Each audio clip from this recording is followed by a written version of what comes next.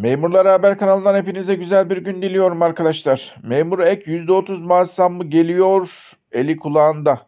İşçilere de %60'ın altında imza atılmamalıdır diyoruz. Bu haberimizde gelin detaylarla birlikte bakalım. 1 Mayıs'ta memurlar ek %30 zam verilecek arkadaşlar. Kamu işlerine de %60 zam verilmesi şart diyoruz. Bugün TGRT ana haberde arkadaşlar 24 Nisan 2003 tarihinde ana haberde memurlara %30 maaş zammı yapılacağını haber yaptı. ATV ve Sabah grubunda da %20 maaş zammı memurlara ek yapılacağı haberi yapıldı. ATV ve Sabah grubu bu haberi yapıyorsa bu haber kesinleşir arkadaşlar bilginiz olsun. Eli kulağında 1 Mayıs'ta Erdoğan hem işçilere hem de memurlara müjde verecek diye ortalıkta haberler dolanıyor. ATV Sabah grubu TGRT bu haberleri yaptı arkadaşlar.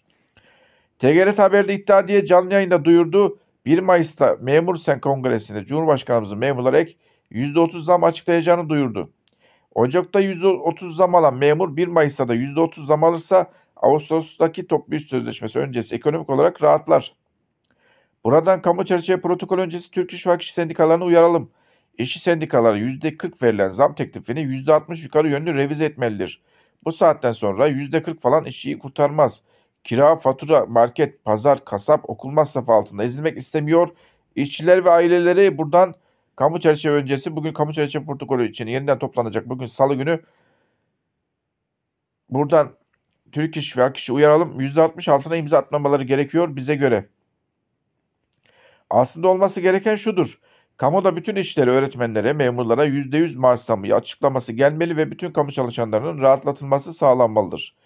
Salı günü yani yarın 27 Nisan 2023 tarihinde kamu çerçeve protokolü görüşmeleri yapılacaktır. Temennimiz işlere de en az %60 maaş zammı altına imza atılmamalıdır.